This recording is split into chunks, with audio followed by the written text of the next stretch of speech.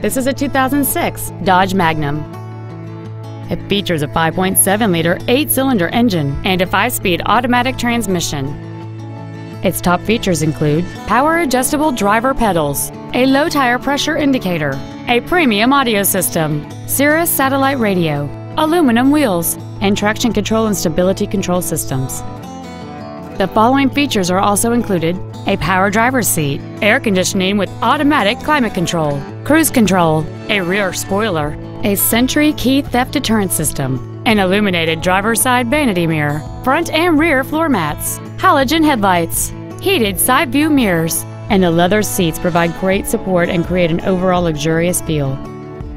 We invite you to contact us today to learn more about this vehicle.